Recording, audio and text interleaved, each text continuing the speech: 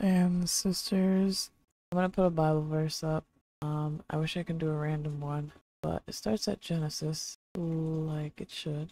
But let me um let me put uh John 3:16. Why not? That's the verse that's on the uh, screen right there.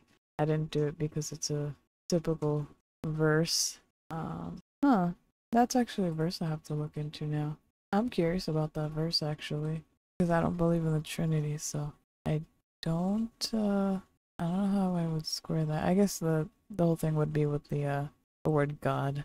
I guess that would be the uh, thing. So yeah. Anyways, so I wanted to see this video. It's called um called When Was Jesus Really Born? The reason I got interested in in this video is because I was uh, scrolling on TikTok and um I had seen that video and I I started to watch it and I stopped it because I wanted to finish the rest on uh, a video here and uh, I ended up watching the actual like the original video from the clip but like I said everything go right on the video so we're gonna watch it again. I don't think I watched the whole thing so that's a plus but we are gonna watch um some of what I already did. I I want to put the created part in quotations because it's, not it's not created it's begotten or exists it was Yahusha eternal maybe I should name it that but yeah that's what I have it named as um, so I went all the way down here and I added a link to a, a note that's called Birth of Yahusha. So we're gonna go here. I have all these notes that I wrote down when I did um, make the video for. So um, yeah, so we're gonna watch. I actually like this layout a lot. It looks uh pretty neat. I've never seen Latin nothing like it. So creative. Was Jesus born on December 25th? No. His hat says no. Is that oh no, it says now. No, well, there not. we go, Okay, folks. that's You can all go Let's home go. now. We, You don't have to worry about all those presents. we just wiped Christmas out, so we'll. Yeah. Well, the first, let's. I mean, well, let's and let's do it. I mean, as if we were, you know, biblical detectives, and we're here in the in the Holy Land. First of all, in, first clue, Luke two. It says, "And she gave birth to her firstborn son. She wrapped him in cloths, laid him in a manger, because there was no room for them in the inn. Mm-hmm. In the same region, there were some shepherds staying out in the fields, keeping watch over their flocks by night. That alone is a clue right there. It is. Well, yeah, it is. Oh, I don't know. Might as well put him in here. It is. Yeah, absolutely. Because people who argue December 25th seek mm-hmm. to deal with this. The, the rabbis say in the Talmud that shepherds would only be out in the fields around March um, until the next rainy season. season. So people argue, well, you know, the winter there is not, the winter is still gets cold there too. I mean, if you've been to Israel in the winter, I- it does get, I've been there when there's been snow. I wrote. It's not, so it's not just that they're This is why I wrote this on the note right here. I wrote all these notes based on what he said. They're out they're they're not just keeping their sheep in the pens. They're out in the fields and at night which is very strange. Why would they be out in the fields at night? Well you know some people have argued this is another one that he was born in the autumn he was born during the feast of tabernacles which i understand because they say well god tabernacling with us. The problem with that is that that during tabernacles the males had to all be in jerusalem. So the birth of Messiah cause, would, would not cause Joseph to break the law by being outside of Jerusalem when he's born. It's not going to do that. The birth of Messiah is going to fulfill everything. So there is one time of the year that shepherds would especially be out with their flocks at night. Only one. That's in the springtime. Why are they watching their flocks at all hours? Because shepherds during one particular time do that. It's when the sheep's give, sheep give birth to lambs. In that the lambing season. That's the only time. That's where they're watching at any time of day, any time of night. They're watching for any birth. That's the only time. And when would that happen? This is the exact.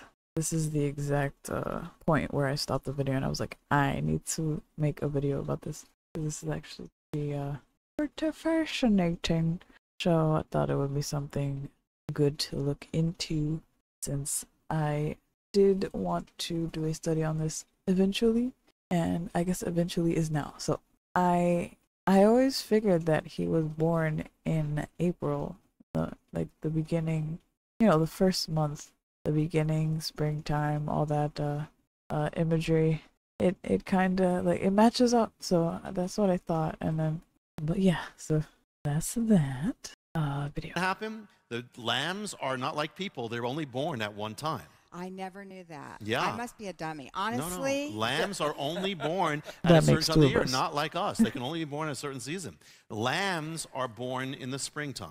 That's the first thing.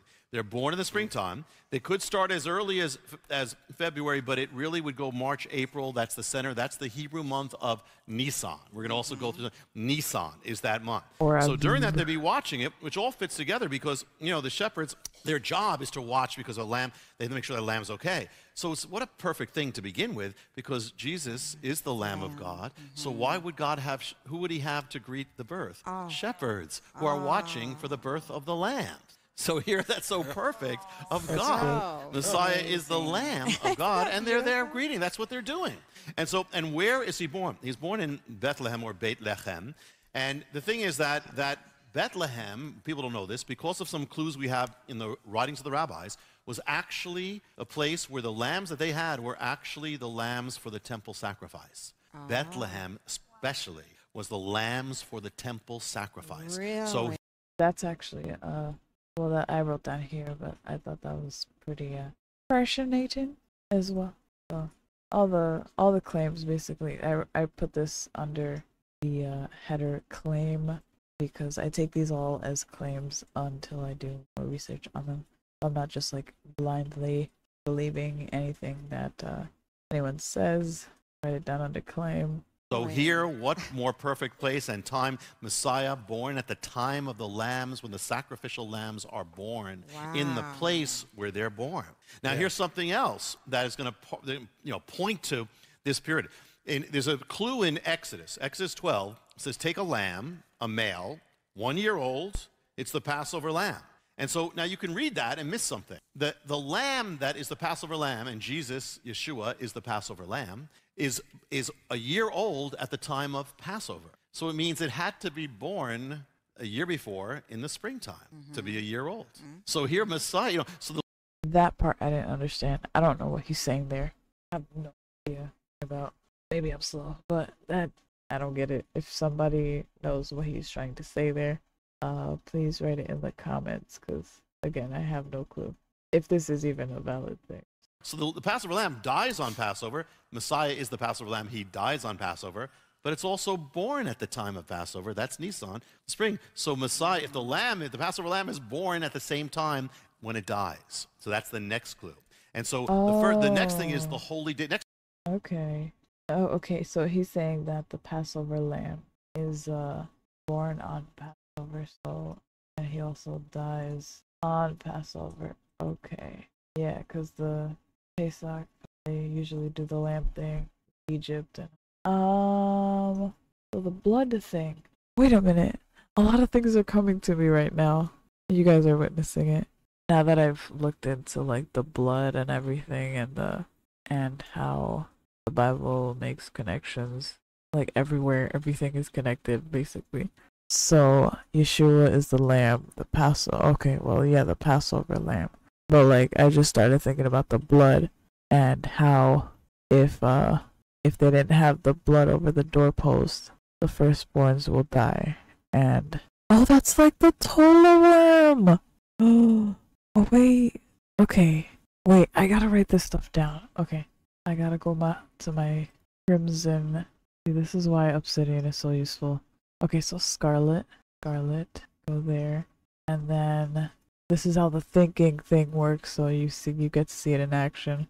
So, uh, okay, so life cycle of okay, parallel to Yehua, Yehusha, and then under that, what I'm gonna do is I'm going to add another header or just yeah egypt because the firstborn so when when the tola worm gives birth she uh she stains all of her children red and the uh and uh, moses instructed the israelites to paint their door with the blood of the lamb so that all the firstborn the firstborn uh don't die so their firstborns don't die so in relation to the crimson worm, if uh I don't know if hold on. So what is the point of the the point of the blood on the babies? So it's because the mother dies. While the mother dies, the uh the crimson worm or the Tola worm, releases a uh, crimson substance that stains the children scarlet. So Jesus dies, and then blood near the children. Are we also considered firstborns? I guess so. I mean, that would be the only thing that I can that it could be pointed to. Who is the first firstborn? It's usually the the righteous, uh, righteous offspring. Sometimes it means literal firstborn, and sometimes it means more like righteous one. I don't know. I'm gonna have to make that another study, but I'm getting somewhere with this. The next clue is the holy days of Israel. And here's, here, what does that have to do with, with this mystery? Well, the central events of Messiah's life and his time on earth, they all take place on Hebrew holy days. Mm. I mean, all, and, and we'll start, and one people don't even realize, Palm Sunday, the first thing is he's going to his passion, getting on that dock, going there. That's a Hebrew holiday. People don't realize the first Hebrew holiday ever given to Israel was Palm Sunday. And, and where it is, yeah, it doesn't say Palm Sunday.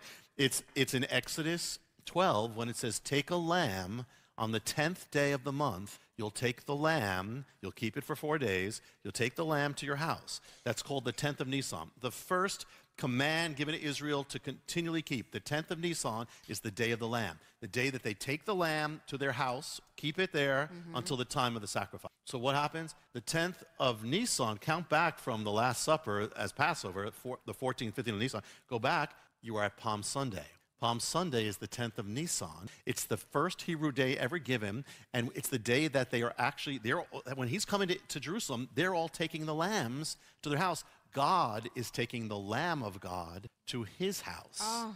on the day of the Lamb being taken to the house. Oh my. It is. It's all It's there. really and, and the first and the first thing in this, the first command ever given to Israel to go was think about this was take the lamb. In Hebrew, you can translate it accept the lamb, hmm. receive the lamb. The first he, the first command he gives to the Jewish people is accept the lamb.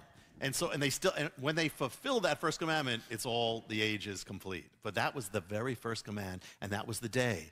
And it also can be even translated seize the lamb. He comes into Jerusalem, he's hmm. going to be seized. But so all the lambs he's watching them come in and he is coming as the Lamb of God. God is moving him, getting ready for the sacrifice on the same day. I mean, God is so perfect, so perfect. So everything, that's just one. I didn't even mean to share on that. That's one. And the thing is that, and then, and then when does he die? He dies on the other Hebrew holy day, which is Passover, the Lamb. When does he rise? He rises on the other Hebrew holy day. We can do a whole thing on this. The feast of first fruit, the day of the first fruit, when the first fruit is lifted up from the earth as the new life after the, the, the new life of God, he is raised up as the first fruit. Paul even says he's the fir- it's on the day of the first fruit. Everything happens. Let me write that down. Then you think, of what's the next great event of the church? It's Pentecost. Pentecost is a Jewish holiday. People don't realize that. Pentecost is Shavuot in Hebrew. You know, you know that, that the word Pentecost is a Jewish word that those, those same Greek rabbis who, who came up with the who came up with that the tower, calling it the, the, the come let us build a tower, they're the same ones who came up with the name Pentecost. And Pentecost is a Jewish holiday. In fact, or, there are some Orthodox Jews will know that they're celebrating Pentecost. They were the first Pentecostals because they're celebrating that. Moses was the Pentecostal. He told them to celebrate this, and in Greek, it's Pentecost 50 days. In Hebrew, it's Feast of Weeks. Same thing. So everything happens on a Hebrew holiday of his life his death, his resurrection. So, of course, his birth. God is very accurate and absolute. It's going to happen on a significant holy day of Israel. So the question is which? Which one? It begins in the springtime. The first feast is Passover. The age begins with Passover, Messiah on the cross. And it ends with tabernacles when God will come down and tabernacle. And, and, and so, so we, we can do a whole thing on this, but the whole age is that. So when would he be born prophetically? It's not going to be in the autumn. That's the second coming. Got to be in the spring again. It all points back to the spring. And it's got, it points back to this month called Nisan, which means the beginning. The month means the beginning. That's what it means. That's when it all begins. So, and everything he does in order. Yes, Palm he Sunday, does. res- he does it according to those days. So if you got, you count back, you got resurrection in the, six- the Nisan, you got Passover, 15th of Nisan, you got Palm Sunday, 10th of Nisan. You only have a few more days from the beginning that this has got to happen. So it's narrowing it down now to the very first days of Nisan. And so now, the, now the, next, the next clue. Every day, every time he fulfills a holy day, he doesn't just fulfill the time, it, the theme of that day, he fulfills it. For instance, Passover, he dies as the Passover lamb. First fruits, he rises. So everything has to do with that. Is there any day on the Hebrew calendar that would match up with birth, new beginning, new everything? Well, there is one day, and it happens to be in Nisan. And the one day is Nisan 1, which is the very beginning of the Hebrew year, the very day that begins everything. And so, and this is the day that it's the very, it's the new, it's the real New Year. Though most most Jewish people think Rosh Hashanah. Yeah, is New Rosh Year. Hashanah. It's not. The new, the real New Year of God is Nisan 1. Now, the thing about Nisan 1 is you don't have to be in Jerusalem. There's no command to be in Jerusalem, yet it's a holy day, so uh-huh. Joseph could be there at that time. And it's ah. also, it's the, think about this. It's the day, it's the day that begins the calendar. It, it changes the calendar. The, the old calendar is gone. The new calendar begins. What does Messiah's birth, his birth do when he comes to, to this world?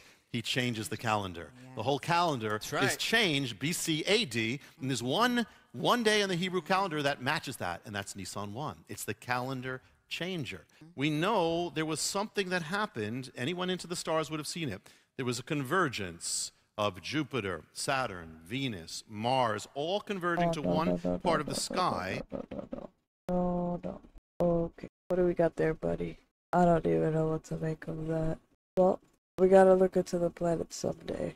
I guess this would be a good time to tell you guys that uh I don't I don't necessarily believe in uh the globe.